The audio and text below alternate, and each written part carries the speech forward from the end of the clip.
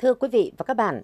Tập đoàn Công nghiệp Viễn thông Quân đội Việt Theo là đơn vị đi đầu và có đóng góp quan trọng vào chiến lược chuyển đổi số quốc gia. Phát huy thế mạnh của tập đoàn, Viettel Con Tum đã và đang đẩy mạnh các hoạt động chuyển đổi số, tạo điều kiện thuận lợi cho người dân và doanh nghiệp, góp phần tích cực vào công cuộc chuyển đổi số chung của tỉnh.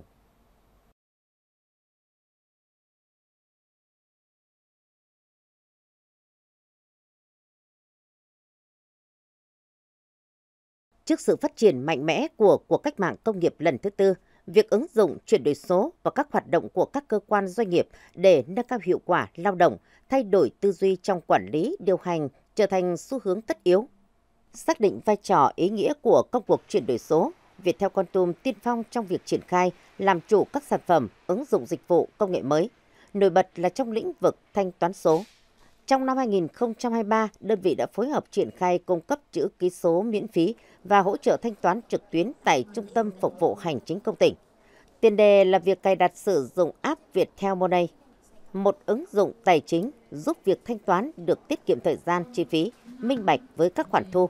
Ngoài ra, đơn vị còn phân công nhân viên phối hợp hướng dẫn, hỗ trợ thực hiện thanh toán trực tuyến trong giải quyết thủ tục hành chính – Điều này không chỉ giúp người dân doanh nghiệp giảm thời gian chờ đợi mà còn mang lại nhiều thuận tiện cho cán bộ làm công tác thu ngân tại trung tâm. Nó thuận tiện là nó tiết kiệm thời gian, chi phí đi lại khỏi phải chờ đợi, có thể thanh toán tại nhà hoặc là qua điện thoại, máy tính. Nói chung là thực à, nó minh bạch các khoản thu rõ ràng. Khi mà có nhân viên của Viettel đến hỗ trợ thì ờ, giúp cho chúng tôi tiết kiệm được thời gian, chi phí, nhân lực cho cái khâu tiếp nhận thanh toán, ờ, đảm bảo minh bạch được các khoản thu ngân sách nhà nước, ờ, thuận tiện cho các cán bộ làm công tác thu ngân ở các sở ban ngành, mà cũng là tiền đề cho công cuộc cải cách hành chính, chuyển đổi số trong thời đại mới. Thanh toán trực tuyến giúp tiết kiệm thời gian, công sức, minh bạch trong thu ngân sách nhà nước và là tiến trình trong công cuộc chuyển đổi số. Để tiến tới xây dựng chính quyền điện tử, nền hành chính hiện đại, Viettel Con Tum miễn phí gói cước chữ ký số MySai trong một năm đầu để người dân có thể ký số các hồ sơ thủ tục hành chính trực tuyến trên Cổng Dịch vụ Công tỉnh và Cổng Dịch vụ Công Quốc gia. Kết quả bước đầu đạt được những kết quả tích cực. Ứng dụng MySai, đây là một ứng dụng xác thực và ủy quyền trong các giải pháp chữ, chữ ký số từ xa của Viettel CI. Ứng dụng MySai thì cho phép khách hàng dễ dàng à, xác thực và ủy quyền một cách an toàn các nghiệp vụ à, như ký văn bản, ký giao dịch mới à, mọi lúc mọi nơi trên điện thoại di động cũng như trên điện thoại bàn. Thì trong thời gian tới thì Viettel Con Tum tiếp tục hỗ trợ cho địa phương về thanh toán trực tuyến qua ứng dụng Viettel Money để phục vụ cho người dân trên địa bàn góp phần vào thực hiện chuyển đổi số của tỉnh Con Tum. Trong năm 2023, Viettel Con Tum ký thỏa thuận hợp tác về chuyển đổi số với Ủy ban Nhân dân tỉnh Con Tum giai đoạn 2023-2027.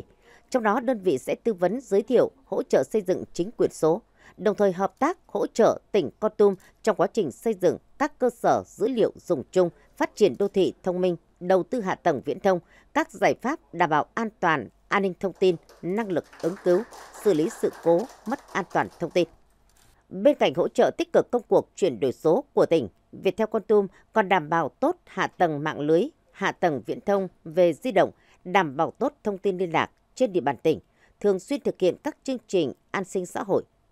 Trong năm 2023, đơn vị đảm bảo tốt thông tin liên lạc tại khu vực cột mốc Ba Biên để phục vụ cho hội nghị giao lưu hữu nghị quốc phòng biên giới ba nước Việt Nam, Lào, Campuchia và tổng kết chương trình Vì em hiếu học với hơn 5.600 suất học bổng.